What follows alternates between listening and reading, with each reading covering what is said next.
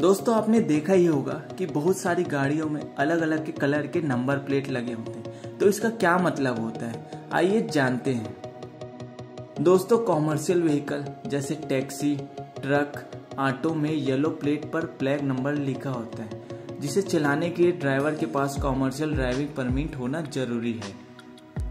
तो अब बारी आती है रेड कलर के नंबर प्लेट पर, जिसमें व्हाइट कलर का नंबर लिखा होता है, जो कि टेस्ट व्हीकल के लिए रजिस्टर होता है। दोस्तों, यह मैन्युफैक्चरर टेस्ट करने या नई व्हीकल को प्रमोट करने के लिए इस कलर पर प्लेट का यूज़ करते हैं।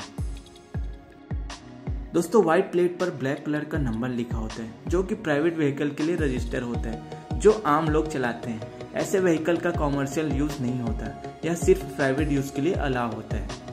दोस्तों कॉमर्शियल टैक्सी सेल्फ ड्राइविंग के लिए यानी कि रेंट पर दी जाती है तो ब्लैक प्लेट पर येलो नंबर होता है। दोस्तों, इसे ड्राइव करने के लिए कॉमर्शियल ड्राइविंग परमिट का ज़रूरत नहीं होता है।